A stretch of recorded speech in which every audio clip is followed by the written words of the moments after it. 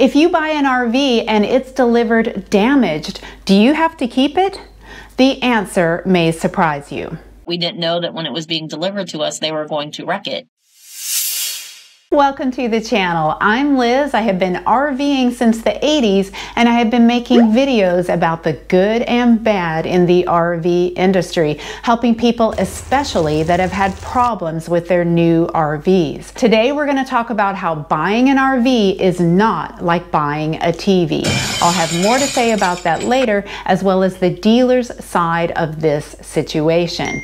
Stacy's story is a cautionary tale with mistakes made and lessons learned. Mark, my fiance, has been camping since he was about three years old. Has owned 11 campers, including the one that we have now. I started camping in my teen years and have owned four campers with him since we've been together. We wanted to find a camper that would be our retirement camper, something that we could be able to stay here in Ohio in the summertime, spend time with our family, and be able to travel. So we located a 2021 Jayco Pinnacle fifth wheel at Terrytown RV in Grand Rapids, Michigan. It was a unit that, that had never been used, it was brand new leftover unit sitting on the lot. And I fell in love with the camper. I mean, it has a beautiful sitting room in the front, has two fireplaces within it. It just had the perfect setup for what my family needed at that time. We had looked at probably 25 different dealerships and chose Grand Rapids.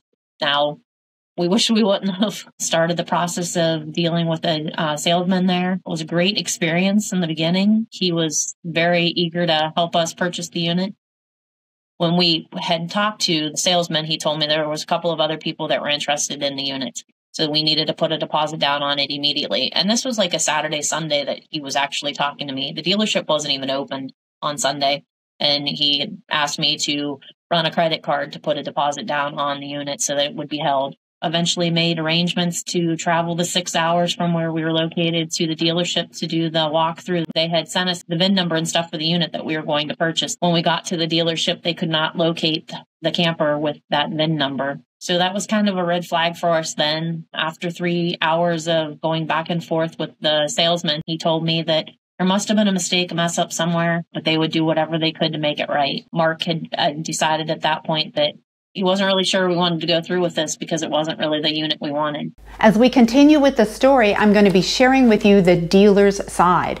This is from Matt Cortman, who's the general manager of Terrytown. Upon visiting our dealership and seeing the fifth wheel for the first time, they noticed several missing options and features Pictures of another 2021 Pinnacle with different options and features had been mistakenly posted on our website. The customer understandably assumed that the items pictured on the website were included with the trailer that they were looking at.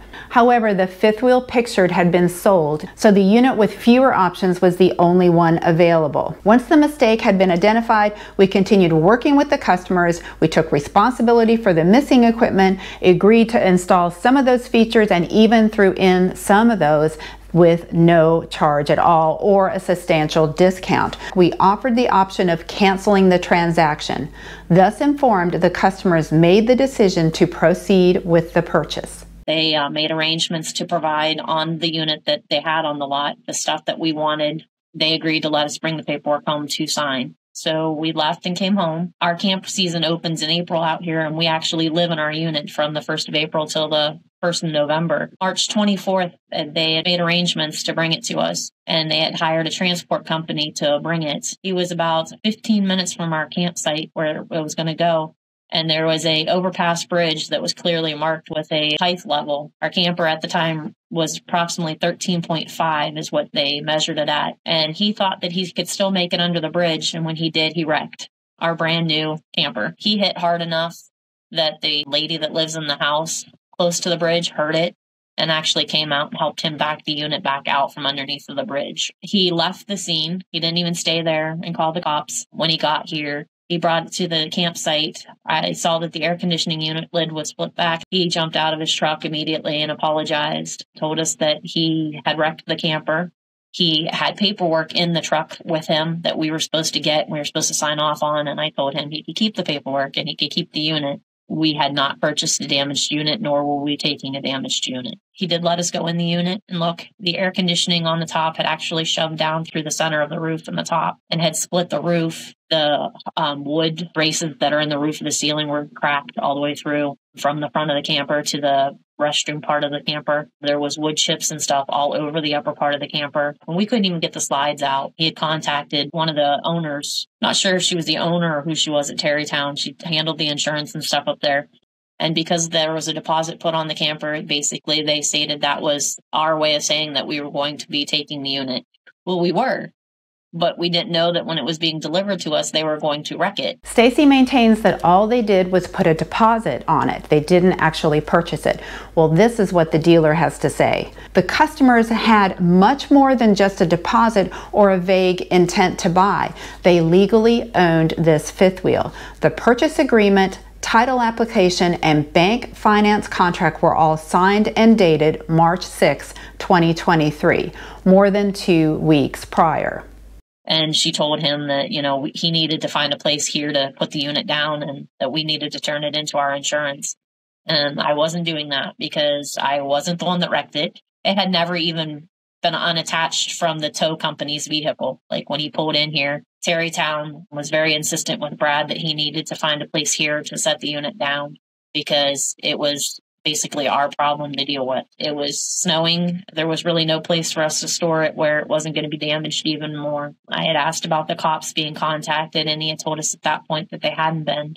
So we had notified the state highway patrol, and he came out basically told the tow driver too the same thing. You need to take this unit back. This couple didn't purchase a damaged wrecked unit and they're not going to keep it. He did turn around and take it back to Terrytown. The customer's refusal to accept the fifth wheel does not change the fact that it was already their property before the driver hooked up to it. Now this is where buying an RV is much different than buying a TV. You can go online, you can order a TV, it can arrive damaged. Guess what? You don't don't have to take it, but it doesn't work that way. And I think what happened with Stacy in buying the RV is she thought if she didn't sign off for it with the transport driver, she didn't have to accept it. But as the dealer said, she already legally owned it before she received it. I kept dealing with Brad Baumrich, the driver, and he had just kept telling me that he was waiting on his insurance company to come out and evaluate it to determine what to do from that point while it was sitting on Terrytown's lot. The day that it went back, it was snowing. He drove through a horrible snowstorm to get it back to the dealership. We had no idea if the unit was parked in a garage up there, sitting outside in all the snow. Terrytown was insistent on, even though we had not signed the paper that the camper was ours, was not going to take no for an answer. They refused to replace the units. They had told us that they had sold our trade-in unit, so they well, we weren't getting it back either because we had asked since they damaged ours if we could just have our trade back and we just go back to the way it was. And they said that it was sold. We had to keep the unit that we had.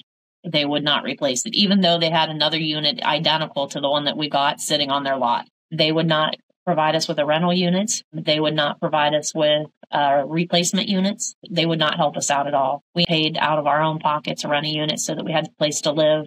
The dealer continues to assert that the RV belonged to the customers. They had completed their purchase. They had signed legally binding title and financing documents. The deal had even been processed through the state of Michigan. I double checked with Stacy and I said, hey, is there any proof that you have that you did not sign those documents on March 6th? And no, she doesn't have any proof. She just says that that March 6th date is not accurate. And I really think this just goes back to that she didn't want to buy a damaged RV. And when it arrived, she probably felt, hey, I don't have to accept it because that's not what I bought. This is very unfortunate, but even damaged, that RV belonged to Mark and Stacy. We will talk more as we go on as to how these mistakes can be avoided for anyone out there who's shopping for an RV. So in July, we received the unit back here on the lot. It still had issues. There's marks from where it had hit and scratched, or the ladders when they were working on the unit had scratched the paint and stuff off the front of the camper. The ceiling inside still has issues. Doorknobs that had been bounced off when the wreck hit, they had bounced off cupboard doors and left imprints from the doorknobs, door handles that were broke. We came out and met with an insurance adjuster here about two months ago. It's the first time we'd been in the unit since we'd closed in November. And the ceiling tiles in the bedroom that they had fixed are starting to fall in. It's been, it's not even been six months since they replaced it and we're already having issues with the camper. So what happens in five, six years down the road? Are we going to continue to have problems? Is it going to leak? You know, where are we going to be then? Dealer says the customer accepted the fifth wheel upon delivery to its destination and noted concerns about the fifth wheel with our service team some time afterward. Both our team and an adjuster from the transport company's insurance provider has since concurred that these issues were not caused by or related to the accident. Just want my unit fixed. Take it back, go over it, make sure that everything works, everything is taken care of. You know, we have wrinkles on the roof already that are very noticeable. This was a $153,000 unit. That's huge, you know, and that's something that as a retirement home you work hard to get, to have.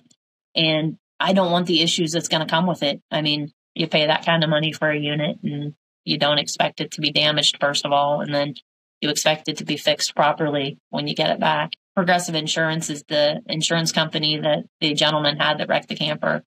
And they told us that Terrytown guaranteed them 100% satisfaction and we are not 100% satisfied. Like, just fix it. If you're not going to take it back and you're not going to give us a new unit, then fix this one. Given that these issues are likely covered by the manufacturer's warranty, the customers were offered the option to schedule a service appointment at our dealership, which of course would necessitate a return to Michigan at their expense.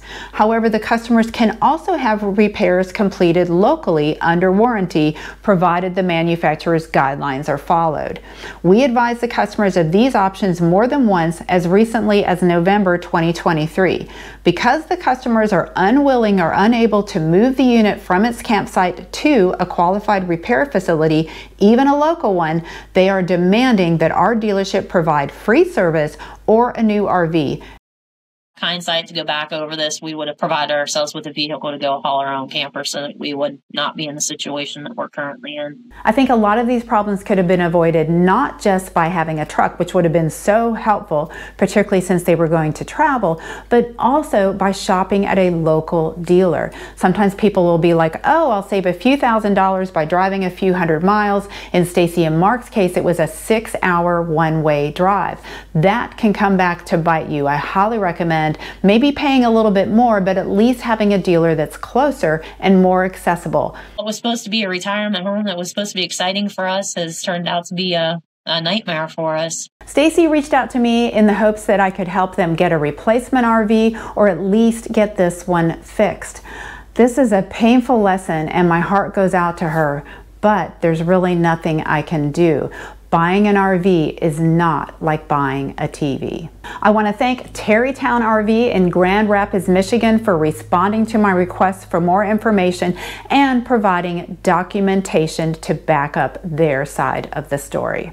And I want to thank Stacy for sharing her story, lessons learned as painful as it was. So here's my update on the Lippert situation. If you're one of the few people on the planet that missed that video, I received a cease and desist order from Lippert. I guess I should say a letter because it wasn't an order, but it was from attorneys demanding I take down two videos. What was upsetting Lippert is I read some very alarming comments from an informant who works in the industry. So what I did in response to the cease and desist is, hey, I don't need that aggravation. I'm just a little YouTuber here. I'm just trying to enjoy life. So I edited both videos and removed the informant's comments. If you found this video valuable, please like, subscribe, and share. Let me know any questions you have or any RV shopping tips that you may have in the comments. And if you are shopping for an RV, it may not be a good time to be buying something new out of Elkhart these days, certainly not mass produced. There are lots of well-built quality RVs out there, but you'll need to do your research to make sure that you're getting a good one and get an inspection. Thanks for watching and stay tuned.